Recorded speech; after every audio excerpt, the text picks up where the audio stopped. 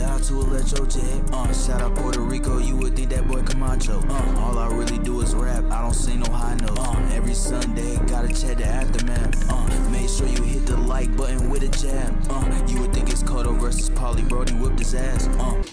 Yeah, man, uh, Navarro, uh, with a record of 3 0, just pummeled Arroyo.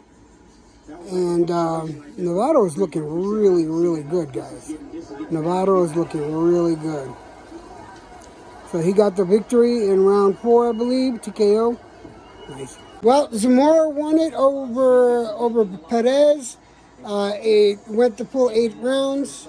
Uh, Zamora won it by decision. I agree with it, but I think it was a closer fight than what the judges said.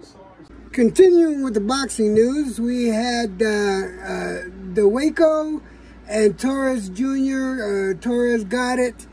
Uh, Dueco was uh, was disqualified because his mouthpiece kept coming out. Uh, Suarez beat Cortez something awful. Yeah, the, and then um, also the Munguia Bazinyan fight, and yeah, Munguia got it, and it was uh, it was a good fight.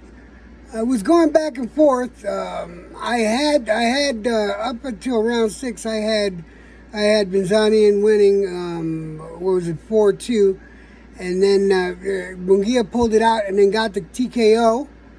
Uh, I believe it was around nine, round nine or eight. No, it was round nine. So yeah, that's boxing news for now. The top, you know me, I ain't right. On the beat. Uh, one more time, Devin versus Loma was a masterclass. Uh, every Sunday, y'all better check that aftermath. Uh, if you don't like Pedraza, we gon' whoop your ass.